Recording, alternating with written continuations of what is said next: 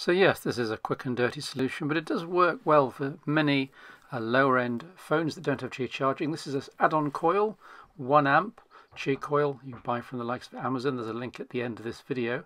It just plugs into the Type-C and the coil sits on the back loosely, which is where a TPU case comes in. Now I'm going to be using a Spigen case, the liquid air. Again, we'll put the link at the end of the video. So this is all on the Pixel 4a 5G, nicely proportioned, and the Spigen case fits very well, nicely protective, and you can just see the end cap of the coil sitting in the Type-C port.